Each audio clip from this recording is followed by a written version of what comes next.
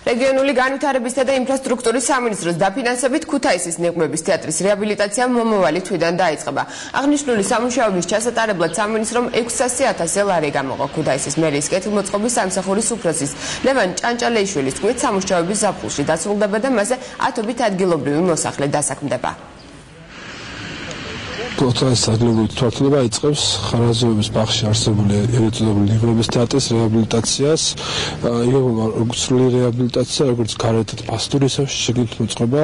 არის სამუდამო ვარიანტი განხილვაში, იქ შეიძლება გაკეთდეს თქვა კულტურის თქვა ცენტრი, როგორც იყო ნიღმების თეატრი, ან კიდევ მეორე ვარიანტი არის, რომ შეიძლება გაკეთდეს კინომუზეუმი.